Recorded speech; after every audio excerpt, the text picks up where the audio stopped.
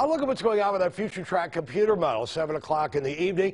We do indeed have pockets of moderate rainfall in the area.